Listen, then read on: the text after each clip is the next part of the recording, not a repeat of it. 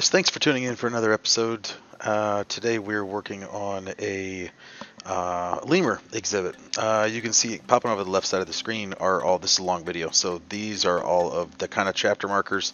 Um, I will go back and put them in the uh, description of the video at the end, so you guys can bounce around. Uh, we're about total about 50 minutes or so on this build. Um, we start off with uh, obviously kind of the terrain formation and things like that here. Um, a lot of this stuff I modeled off of a, uh, a zoo that was at uh, Melbourne. At least uh, some of the props and the kind of these pod things that we'll build later on here. Um, but uh, that was that was a lot of the uh, inspiration for the build.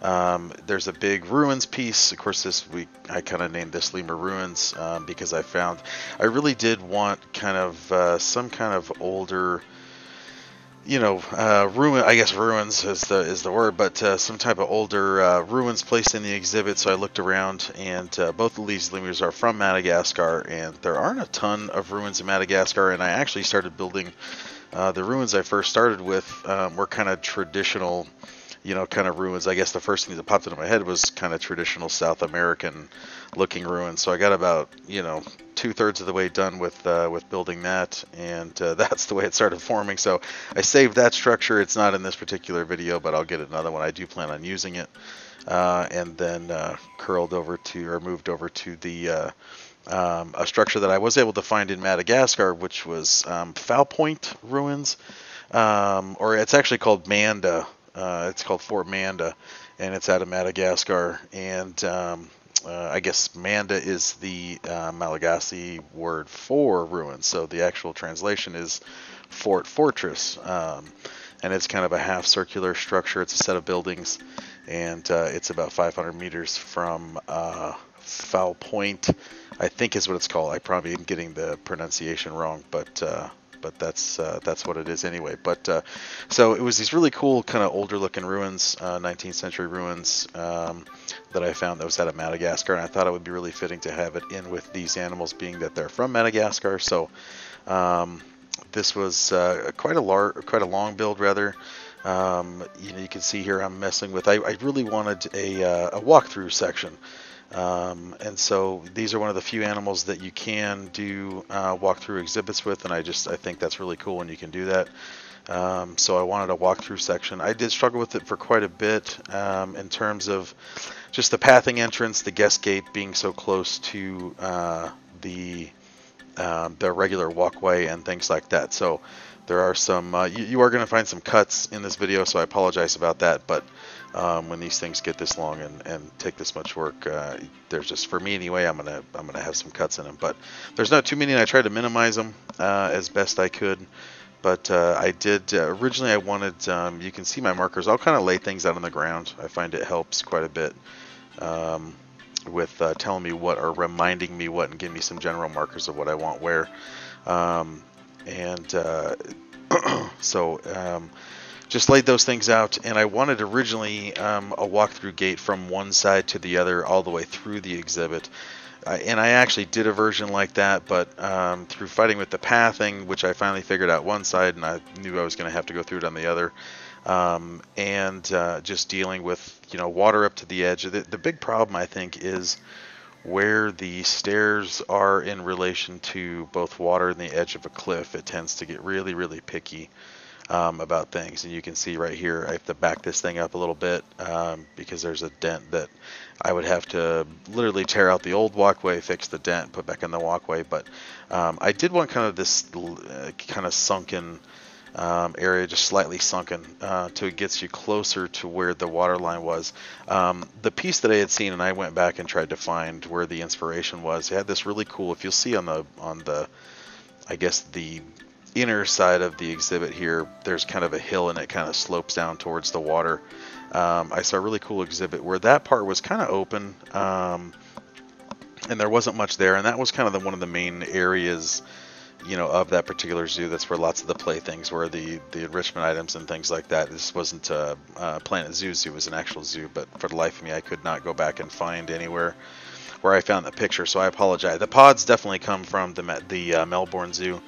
Um, and I usually try to give those guys props uh, if I can. If I can, I usually try to save kind of an idea of where I got the inspirations from. So the pods came from the Melbourne Zoo, and this slanted piece where it runs into um, this viewing area, I unfortunately could not go back and find that. I just saved the picture to kind of give myself uh, some ideas to go on. But anyway, um, struggle a little bit with the glass piece. Again, it's the relation to where the path is, um, and uh, and that sort of thing. So um, it gets a little bit finicky, and then you have to kind of change things up. But uh, so here we're going. Then I, I put this portion in super speed because uh, this particular structure, this was um, I think when oh yeah when I first started building the pods I was going to use an umbrella that I had already built um, but I did I did really want to get these pods in that I saw uh, that was uh, part of the that, that Melbourne Zoo um, and they just are kind of like these octagonal type shapes you can see some of my other renditions there in the background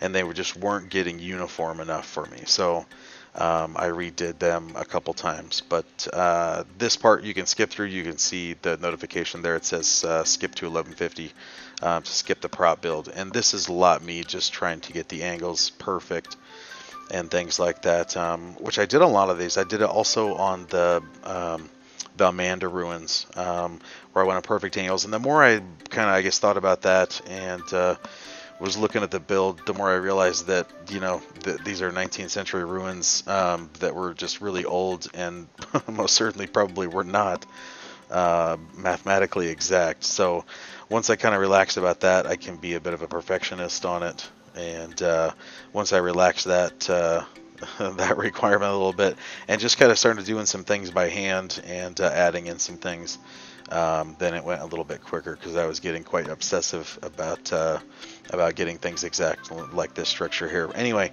um, you guys can skip forward to this part because uh, this is just me tinkering around with trying to get things perfect. Um, skip to 1150 and I'll go on to the, kind of the next section. Um, anyway, but uh, so so we get through these pods and um, I wanted these as kind of the guest areas. They turned out to be really, really big. Um, they're, they're quite large, probably uh, three times the size of you know a person in the game, so they're quite tall. Um, but they turned out nice. Um, I'm happy with them. I saved them so I could use them for different stuff. I don't know if I ever will, but um, uh, so that's that's kind of that. This is just me figuring out the angles exactly. Um, but uh, but anyway, so I started messing with the fort and uh, started relaxing that uh, requirement just a tad. Um, I probably will go back and redo it at some point. Um, it turned out great and it looks good, great in the exhibit. Um, th- there's just some things that I would like to improve upon uh, on a next go round. So I'll, I'll, probably at some point both fix the ruins, publish them separately to the Steam Workshop, and then also uh, update this. Uh, this exhibit with uh, ruins inside them, obviously, which will give you the new model. But um, this uh, uh, exhibit I did publish to the Steam Workshop, so it's up there. Um, it's unfortunate that, of course, none of the train modifications and things go with uh, the exhibits, and I know that's kind of a drag. So hopefully you guys can figure it out because I, like I said, the, the game's finicky in terms of what it what it wants in terms of terrain and with respect to how the water goes and pathing and things like that. But hopefully you guys can figure it out. Um, the exhibit is quite uh, quite large. It comes in just about 3,000 meters squared, um, much much more than uh, than these creatures actually need. But I did want a large, um, you know, kind of uh, lemur, you know, I guess refuge type place um, for to house them. Um, I knew I wanted the ruins in there, and I wanted these pods, and I wanted to be able to walk through. And uh, the standard lemur exhibit or space requirements are like two or three hundred square meters, um, which is just a really really tiny enclosure um, and definitely wouldn't fit all the stuff that I wanted to fit in there. So I did grow it quite a bit. Um, at some point, I know obviously that uh, trying to fit things in your zoo that are this large, um, you're going to want things shrunken down a little bit so that you can fit everything. But uh, um, on this particular one, I did want it. Uh, I did want it big. So um, anyway, but uh, so you guys can bounce around. Like I said, I'm going to put the uh, um, chapter markers um, for all of the all of the elements that we're doing, and I tend to bounce around a little bit. So you know, I'll be doing pathing, and then I'll notice that you know I need to change some terrain, or I want to you know elevate something, and so I kind of change it so it it does there's a couple markers, you know, I think foliage we did two or three times, plus I do some final touch-ups um, because you start to notice things. You know, you get deeper into the build and things like that. Um, I did have a catastrophic crash. Um, the game crashed on me when I was building the climbable structure, and uh, so that was a drag because it was a couple, two or three hours worth of work down the drain. Um, it did uh, recover a portion of it. Some of it I had to redo, but uh, I did end up leaving the video for the first one, the first version in there. But um, uh, on the Steam on the uh, Steam file, uh, the work on the workshop, the blueprint actually has the second version. Um, of the climbable structure, which is probably not as elaborate as the first one, but it's it's pretty close. Um, so anyway, so there's this really cool, like I said, this is uh, this is a large pod walkthrough for uh, for the guests, leading to this kind of floating uh, viewing area out here that's actually inside the exhibit, um, which turned out really good. Um, I do I do like this uh, the umbrella I just had, but um, I wanted something a little bit different. I wanted to match closer. To, I didn't want to introduce a new element. I didn't want to all of a sudden add bamboo. So um, this exhibit is great. Uh, I house both uh, ring-tailed lemurs and the red lemurs in it. Works great for both. Sorry, you need water. Um, and sort of a, uh, you know, so uh, both of them come in here. There's a lot of enrichment items. There's plenty of space. Um, and there's even though there's a lot of viewing areas for this particular exhibit, being as big as it is, um, there's there's so much foliage and there's so many nooks and crannies that these at least they haven't yet. Not, I, none of the animals yet have complained about privacy. I know on in some cases, and that's another reason I like to build them, you know, kind of large because if you build them small, then uh, it happened to my Chinese pangolins. You know, I stuck to kind of the guide and went slightly over, but you know, then it gets so crowded with people and they're so close, especially I guess more so on the walkthrough exhibits, although it kind of happens with my bears as well um, that uh, you know they end up with privacy issues because you know the exhibits are too small.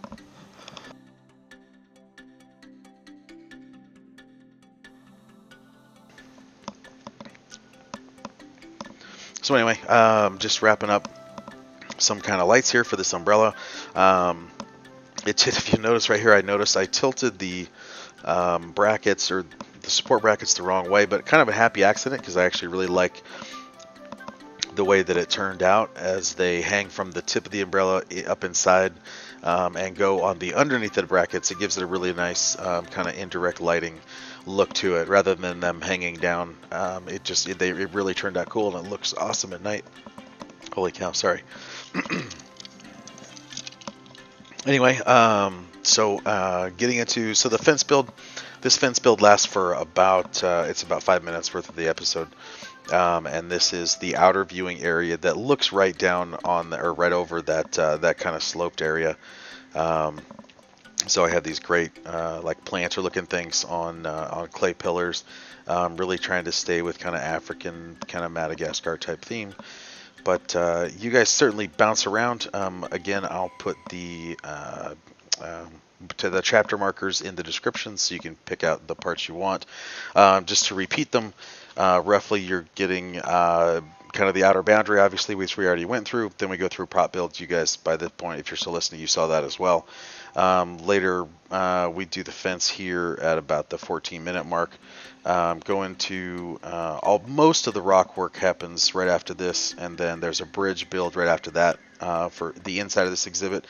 Um, the actual the Foulpointe structure, the Fort Manda structure, um, starts at right about the 30 minute mark, 29:24, um, and then it, we do some more rocks and foliage, take care of enrichment at the 36 minute mark, do lots of the terrain modification, you know, add sand and, and gravel and rock and stuff. Uh, has about the 40 minutes, and then go back in a little bit more enrichment, do foliage at the 41 minute mark, and then it's on to final touch textures and uh, we take care of all the uh, lighting and the effects at the end at about 45 minutes or so, 47 minutes.